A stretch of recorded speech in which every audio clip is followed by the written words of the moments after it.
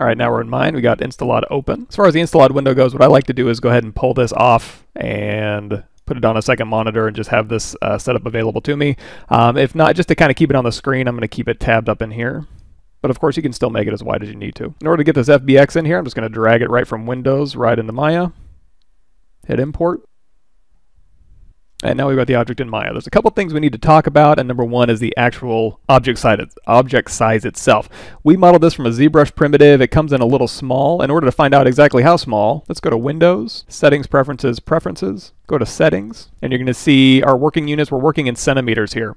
Now we also have a grid, so let's go to Display, Grid, and the option box and you're going to see we have a grid grid line every five units. So basically, this is five centimeters right here, which means this is about two inches in the United States, so it's a little bit small. You can go ahead and resize this in Maya. In order to look at these objects and stay organized, I'm going to hit this button right here. That's just going to open our outliner right here, and you're going to say we have you're going to see we have all of our objects lined up and named right here, just like we did in ZBrush. Let's go ahead and throw these all in a group. I'm going to select the top one, hold down Shift, select the bottom one, hit Control G.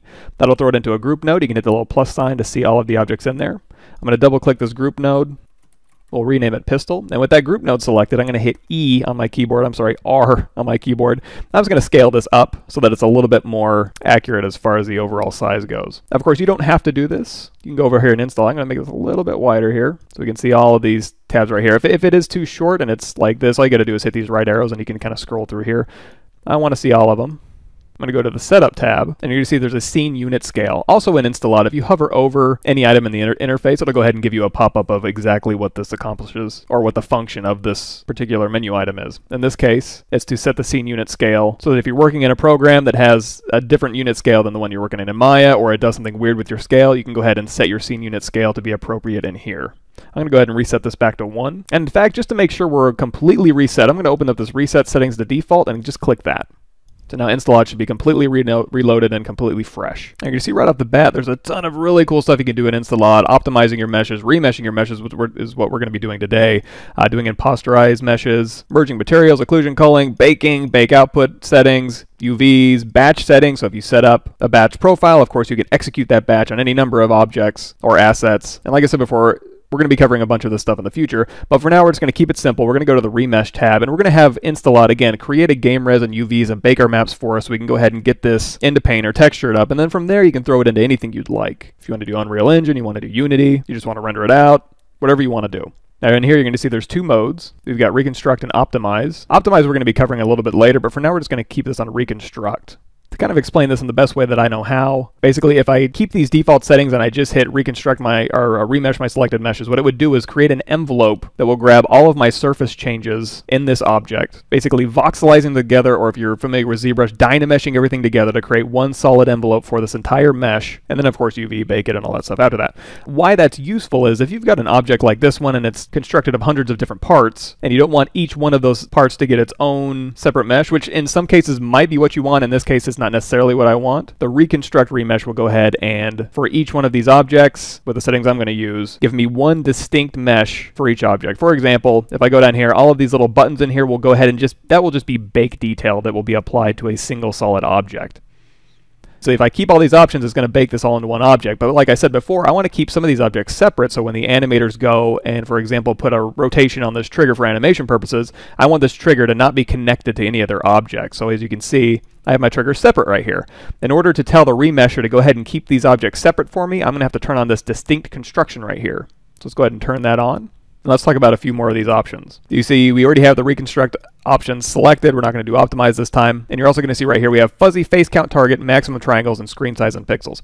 If you know how big the object is going to be in the screen size, you can go ahead and type that in, and it will go ahead and optimize your mesh resolution to be compatible with the number of pixels in the screen. Maximum triangles is pretty self-explanatory. Just type in how many triangles you want for your object. It'll go ahead and stick to that size. I'm not exactly sure how many polygons I'm going to want for this object, but I do know if I go down here to the fuzzy face count target, there's going to be low, lowest, normal, high, and highest. Basically, what we're looking at is normal would be a general resolution for an object for like PC and console for, let's say, like a general prop. Low would be more for like a mobile game. Lowest would be just for a really insignificant prop that you're not going to see very closely.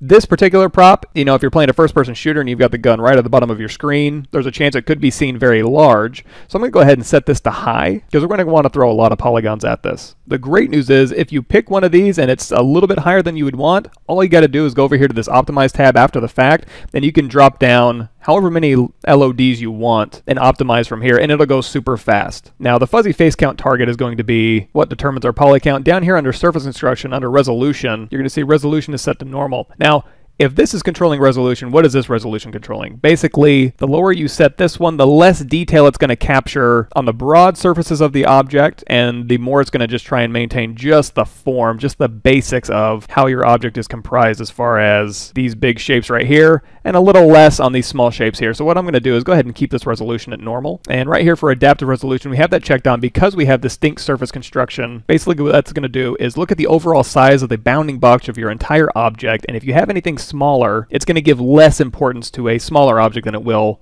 a larger object relative to the overall size of the asset. There's a lot more options in here, and this is stuff we'll be going over in the future, but for now, I'm just going to go ahead and hop down here to where we have UVs. We'll talk about clipping planes in a bit, but for now, let's talk about the unwrap strategy. So it's set to auto right now, which I think defaults to organic. We're going to go ahead and choose hard surface axial. We'll go over the difference between hard surface axial and hard surface angle, but for now, just for hard surfaces, which is most of what this is, we're going to go ahead and choose axial. And when we go to bake this out, we're going to want a little bit of distance in between the shells of our UVs. So we're going to go ahead and make sure there is a gutter size. It's set at 2. If we bake this out to, say, a 2048 map, that'll leave 2 pixels in between shells. In this case, for a first-person weapon, that's probably fine since I'm probably not going to be LODing out in that case, but feel free to go ahead and bump this up as needed. You can enable shell stitching right here to stitch some of your shells together to reduce the amount of overall shells that you're going to end up with, and then insert normal splits is basically when you do a hard surface unwrap. In order to get a good bake, you're going to want to split apart the shells, or the UVs of those shells, if they don't share the same vertex normal. That way in those areas you'll use this gutter size to get a little bit better of a normal bake underneath the bake section, it's going to tell you you need to go set the bake output settings in order to tell these textures where to go when it's done baking. So let's go ahead and do that. I'm going to scroll back up here. We're going to go, go to the bake output tab. Let's open the output folder and file name section. We're just going to browse to the output path. I'm just going to throw it in the folder where we have our high res. The file name format you can see if you scroll down here in this info, you can set it to be whatever, whatever naming convention you'd like. I'm going to go ahead and keep the defaults for now. Under texture pages here, I'm going to go ahead and set this to 2048 hit tab and then type in 2048 again. I'm going to go ahead and keep super sampling on, even though it's going to increase our, sam uh, our processing time. I think it's going to give us a slightly better result. The dilation on the bake is how far out, how many pixels out our bake is going to go past our UV shells, give us a little bit of breathing room, a little bit of bleed, so that if we do LOD this down and drop the texture size, we're not going to get any mipping texture issues. And also looking at their documentation, they did mention that changing this 32 BPP export format to PNG 8 dithered will help reduce banding when you go down to an 8-bit texture or you convert to an 8-bit texture, which will give you a lot nicer, cleaner results when you get to the maps down here. Speaking of the maps down here, we got our tangent space normal. Let's go ahead and bake out our object space normal, ambient occlusion. Custom material textures is something we're not doing this time, so I'm going to go ahead and uncheck that. We'll need a position map. We'll need a vertex color map, which is our material IDs, since we bake them out of, uh, we're exported them out of ZBrush's vertex color. Let's go ahead and throw in a thickness map, a curvature map, and I think we're done. If you scroll down here, you're going to see there's a lot more options in here that you can change. Uh, in fact, let's go down here to tangent space. I lied. If you hover over these, you're going to see uh, binormal per fragment, and if you look down at the lower left-hand side, or you just roll over it, it'll tell you this setting is dependent on how your renderer engine computes the tangent basis. Uh, Unreal Engine is on, Unity is off, Maya is off. If we're going to go to Unreal Engine, we can go ahead and just turn that on. Normalize TS per fragment. Uh, Unreal Engine, you're going to want that off. Unity off, Maya on. Um, let's say we're going to go into Unreal later on, so I'm going to go ahead and leave that off. The output tangent space is going to be OpenGL. I'm going to throw this into Painter after I'm done, so I'm just going to go ahead and keep this as the default. And I think that's it. So let's go back to this remesh tab. I'm going to click this top group node right here, which contains all of my meshes. I'm just going to hit this remesh selected meshes button, and I'm going to let InstaLOD take over from here. All right, that went ahead and finished up for us. As you can see right here, in the output log, it took 158 seconds. Again, this is not an optimized mesh. We're going to be going over best practices on high res and a lot of different ways to kind of optimize and tune and tweak options to get better and faster results. But you can see we took a 22 million triangle mesh and got a low res with the UVs with baked maps. Um, you can see every time we run a process on InstaLOD, it throws out new meshes over here. So what I'm going to do is hit, make sure we have this selected here. So these are all of our new meshes here. I'm going to hit Control G to go ahead and group those. And then I'm going to do Shift P to unparent those. So I've got my pistol high res here. I'm going to do Control H to go ahead and hide that. And now you can see we have our low res here. I'm going to go ahead and hit 6 in my viewport. So now you can see the material ID is plugged in, the normal map is already on there. So let's go ahead and throw this into Substance Painter. In order to do that, I'm going to go ahead, select all of my meshes here. And with all of them selected, you can see under the triangle count, we have 10,868 triangles. Let's go over here to File, Export Selection. I'm to make a new folder called Painter InstaLOD. And we'll just go ahead and call this Pistol Low under the FBX. Uh, for the FBX, FBX options under geometry, I'm going to have tangents and binormals checked on, and I think that's it. So let's go ahead and hit export. Let's hop over into Painter here.